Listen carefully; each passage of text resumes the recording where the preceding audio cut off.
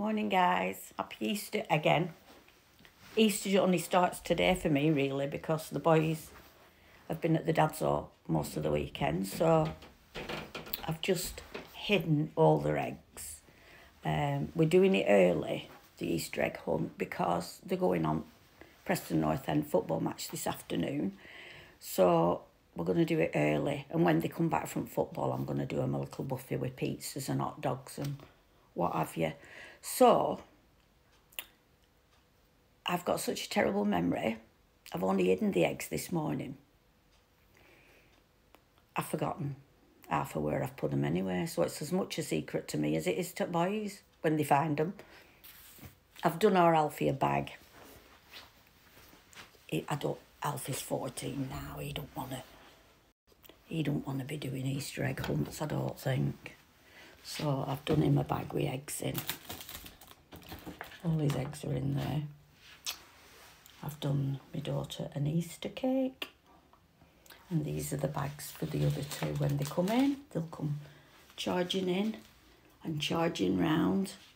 And it just takes, it only takes them about five minutes to run round and get them all. But they go on, they'll go on the football, and when they come back, I know what they'll do. They'll start hunting again because they'll think they've missed some. And uh, they might have missed some because sometimes they do miss some, and I, and I forgot where I've put them, so it's a surprise. Um, but sometimes they're disappointed because they've got them all. You can't go on forever, can you? And I've only got so many blooming hiding places. So let the fun begin.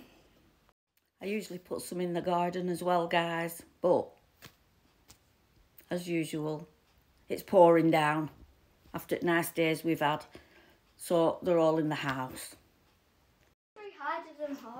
Oh, how do you know? Don't film me. Start hunting, boys. Now. Start hunting. Hmm.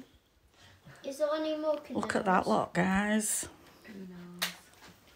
Yeah, there's one there. But when I think they've had a right good do.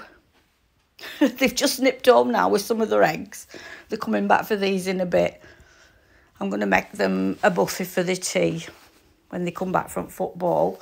And there'll just be one or two more little bits hidden later on. Frankie makes me laugh.